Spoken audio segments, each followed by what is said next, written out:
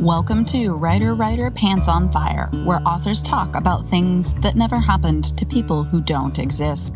We also cover craft, the agent hunt, query trenches, publishing industry, marketing, and more. I'm your host, Mindy McGinnis. You can check out my books and social media at mindymcginnis.com and make sure to visit the Writer Writer Pants on Fire blog for additional interviews, query critiques, and more at writerwriterpantsonfire.com. If the blog or podcast have been helpful to you, or if you just enjoy listening, please consider donating. Visit writerwriterpantsonfire.com and click Support the Blog and Podcast in the sidebar. Today's guest is Tess Gerritsen, whose books have been bestsellers in the United States and abroad. She has won both the Nero Wolfe Award and the Rita Award. A retired medical doctor, Tess joined me today to talk about her newest and first Gothic novel, The Shape of Night. Make your pages look professional with Vellum.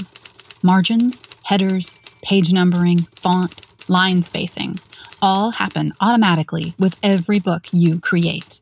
Generate ebooks for Kindle, Apple Books, Kobo, and others, or deliver a beautiful print book to your readers.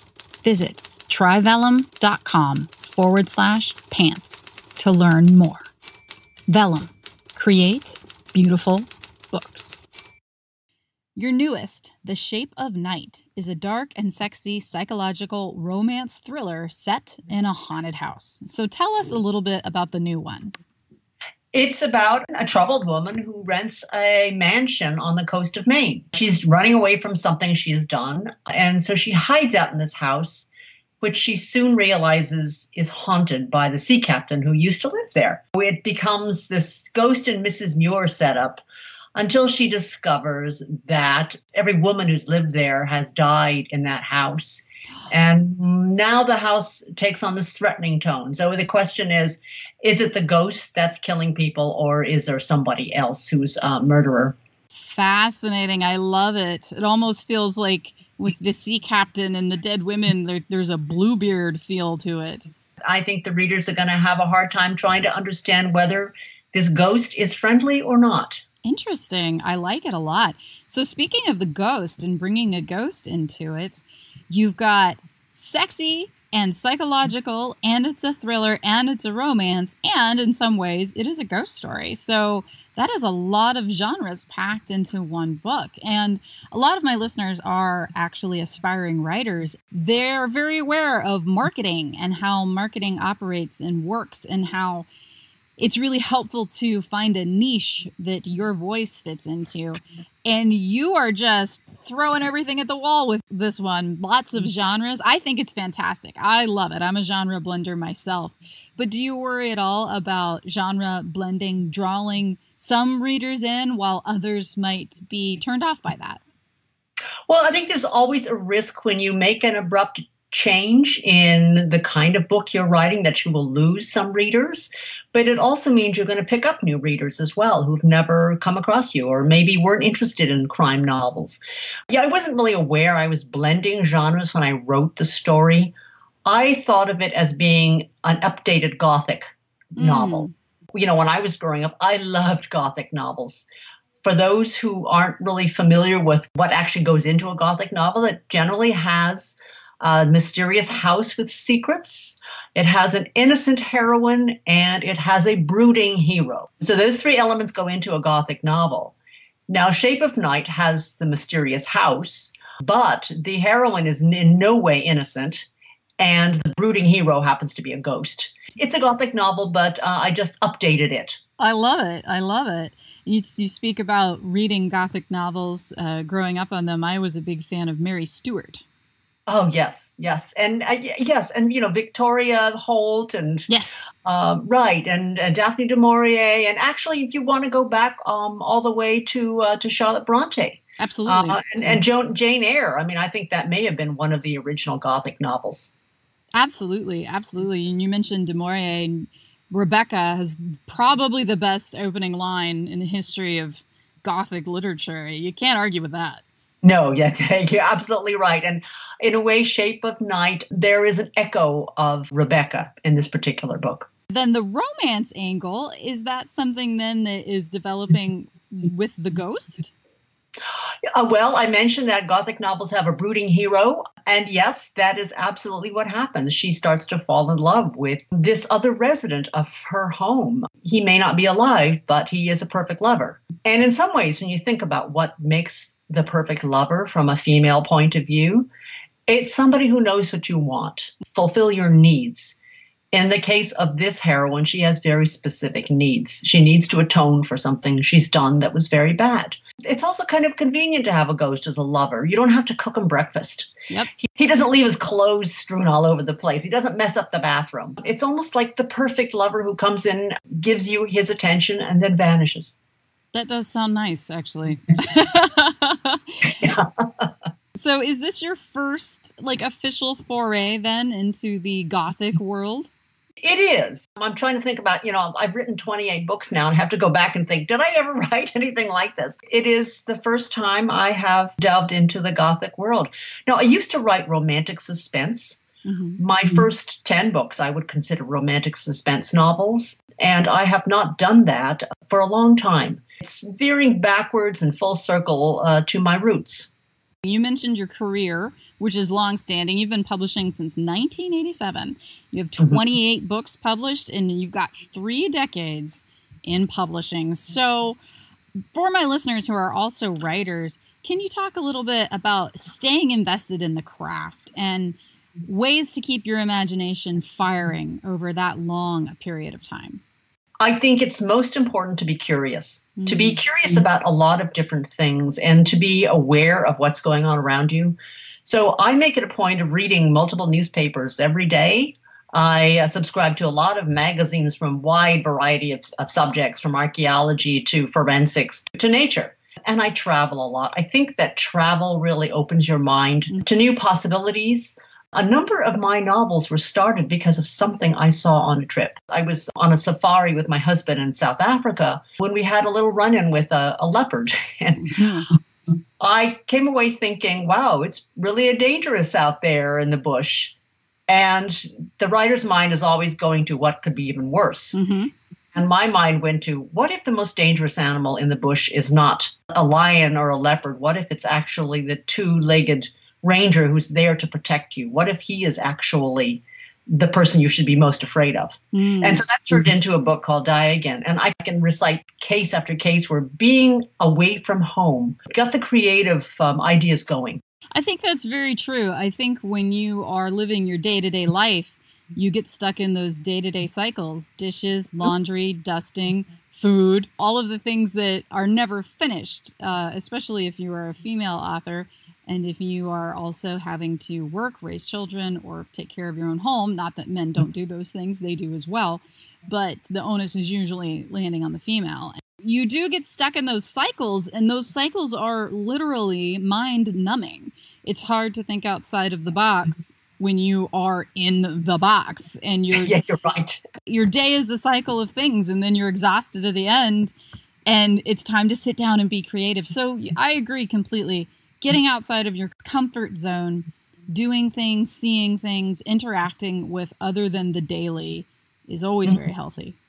And pursuing your interests and your hobbies, it really helps to have a hobby mm-hmm. uh, that you're passionate about. I've long been interested in archaeology, in particular uh, Egyptology, and that led to a book because I had just never stopped reading about Egyptian mummies. I was in Italy when I had a nightmare, and that nightmare became a book about Venice. Be aware that dreams are fantastic.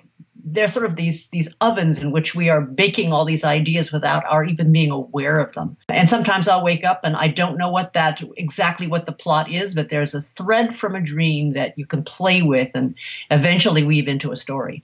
I agree with that completely. There may not be a plot because it's a dream, but there might just be a visual that gets you. Right. Or an emotion, you know, yes. waking up scared. Why was I scared? Yeah. Oh, yeah. Waking up scared is the worst. And multiple times I have posted on Twitter, and no one has backed me up on this, but I have, you know, a reading lamp attached to my bed, and it's the kind with like, you know, a bendable neck. And I cannot mm-hmm. tell you how many times I have woken up in the middle of the night trying to figure out what the hell that is. a good writer's mind, it's never still. It's always moving around, whether it's working on the story that you should be working on, incubating something that's about to happen. And, and it's a problem being married to a writer. And my husband has often complained about that. Mm-hmm. He'll often say, You're not in the present, you're off somewhere else. You're thinking about something else. And yeah, that's the way we are. It's it's tough being married to us. We are not the easiest people to love, but sometimes we pay the bills, so So, speaking of writing in the publishing industry, technology has changed publishing in many, many ways. Even when I was first querying, which was back in the late 90s, I was still sending out physical self addressed stamped envelopes with my query letter trying to get an agent. And I'm sure that you dealt with that and also any number of different scenarios that I will never be familiar with. But technology has not been the death knell of paper books that everyone predicted. But I am curious from the perspective of a writer who has been doing this before we had the internet, before we had cell phones and technology, how do you feel that tech has affected appearances? Because I feel like I am so accessible to my readers and my fans, and I don't mind doing it at all but I feel that I am very accessible online and people can get to know me that way. And that's wonderful. I'm fine with that. But I'm curious if author appearances aren't what they used to be because now all anyone has to do is shoot you an email or tweet you. I'm not finding that the audiences are shrinking when I do go on tour or when I make a special event. Um, and I think it's because when you appear before an audience, you're giving them something special. You're giving something extra. I mean, yeah, I can do Skype interviews with book groups, and I have done those. But when you get in front of an audience, there's something that turns on inside you as a performer. Mm-hmm. Um, and I find that I'm up there and I'm telling stories. I'm telling the stories behind the stories that I don't normally speak about when I'm doing a Skype interview. So you have to give your audience something special if you're going to appear before them. And that's that's what i try to do. I just don't read. I, I don't like to go to and do a reading because i figure they can do that themselves. Mm-hmm. so i try to tell the secrets behind where this book came from. I agree. I have a hard time even reading when they do ask for a reading because mm-hmm. i sometimes will actually see people like following along and reading along which is fine. I mean everyone has their own processing but I'm just like, well, why why am I reading to you then?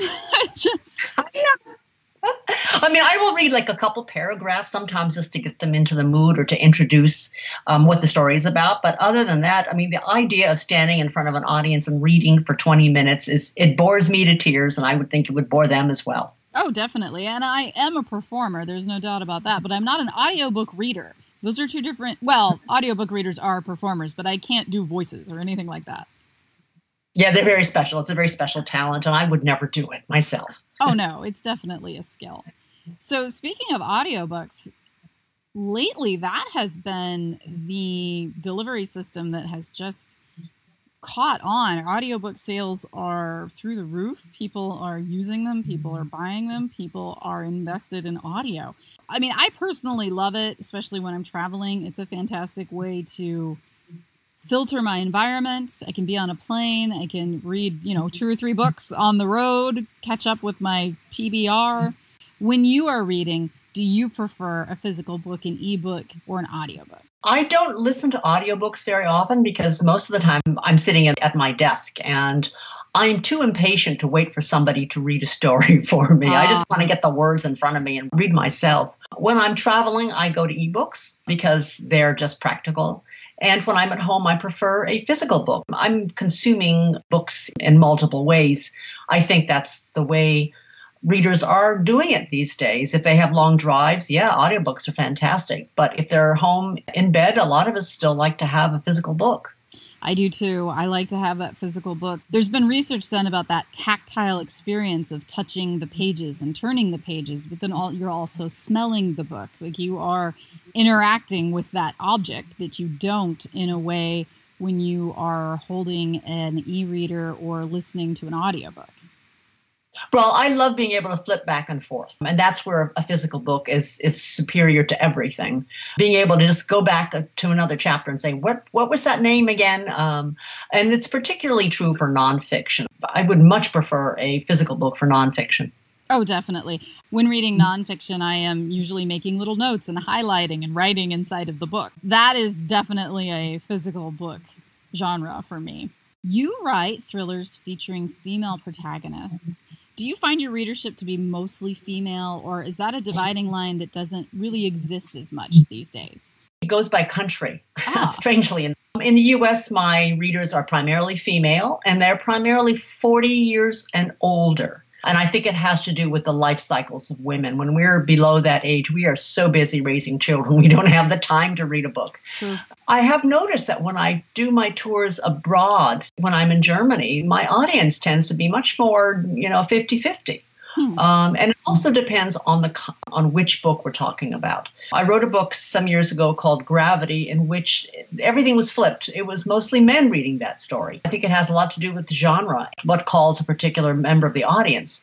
Unfortunately, it does seem there is some prejudice against female writers among male readers. Mm-hmm. There are a lot of men who will just not read a book by a woman. They don't trust us to tell a good story. They don't trust us to, to write what they would be interested in. So I was on tour once, one of these warehouse clubs signing books, and there was a man nearby picking up thriller novels.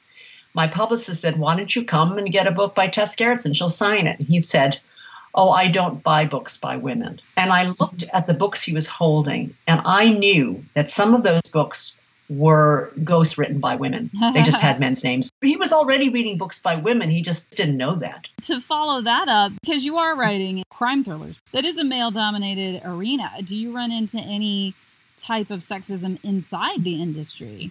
Not that I'm aware of. I think the industry, from my perspective, has been very friendly to me. Doesn't seem to care whether I'm male or female. It, it may be because I do have a technical background. I am a medical doctor. Mm-hmm. They respect that knowledge base. And I can write about medicine more authoritatively than any guy thriller writer who's not a doctor. Yes. So um, I think just having that background probably puts me in a special category. Yeah, more than likely it does. I am curious then, quick follow up.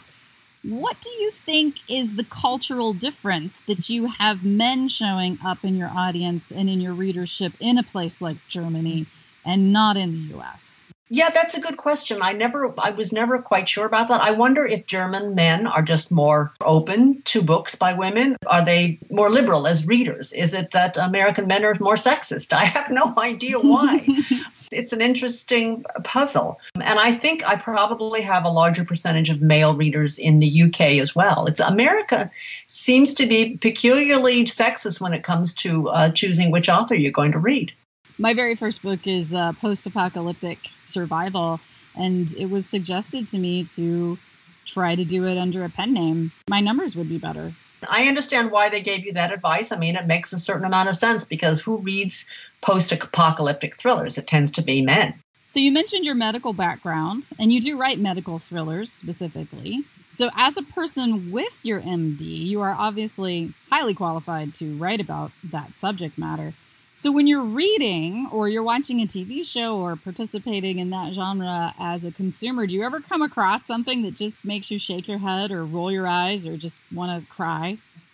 Oh, all the time. it's just, you know, it's funny because my husband and I are huge fans of this TV show called Midsomer Murders set in, in England. Yes. And just about every other week, we encounter a mistake on that television show and just shake our heads and laugh. It just happens. And, I'm certainly guilty of making mistakes. I have made mistakes about cars, for instance. I made some mistake about what year this particular car was made. It didn't make a difference to the story. It mm-hmm. was just a throwaway detail. And yet I got caught out by several men who wrote to me and said that particular car was not made that year. Yes.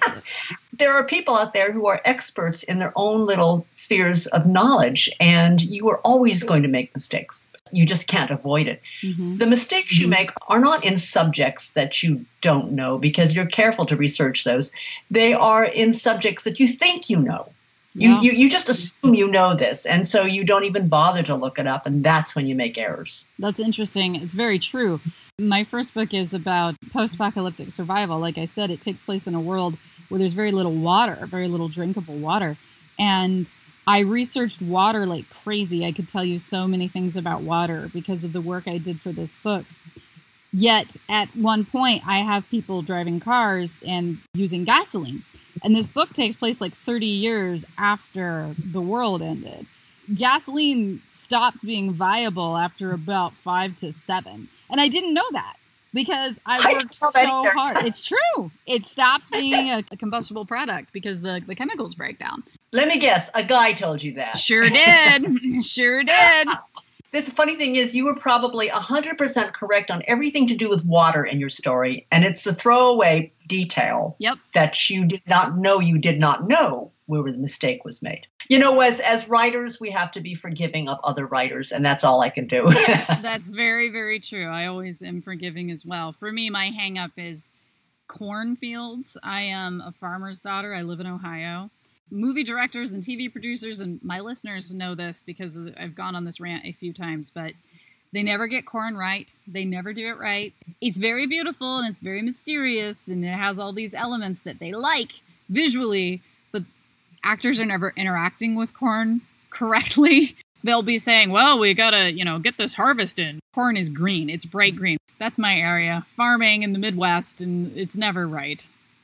Well, the only way I know to interact with corn is to eat it with butter. That's it. butter and salt. That's good stuff right there. Last question. Let my listeners know where they can find you online and where and when they can get The Shape of Night. You can find me on my website at tessgerritsen.com. The Shape of Night comes out in the United States October 1st, just in time for Halloween, which is sort of the perfect season for it. Make your pages look professional with Vellum. Margins, headers, page numbering, font, line spacing all happen automatically with every book you create. Generate ebooks for Kindle, Apple Books, Kobo, and others, or deliver a beautiful print book to your readers. Visit tryvellum.com forward slash pants to learn more. Vellum. Create beautiful books.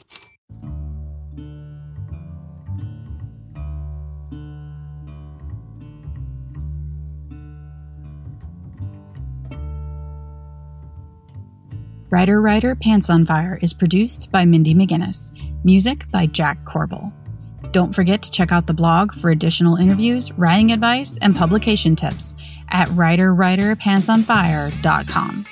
If the blog or podcast have been helpful to you, or if you just enjoy listening, please consider donating. Visit writerwriterpantsonfire.com and click support the blog and podcast in the sidebar.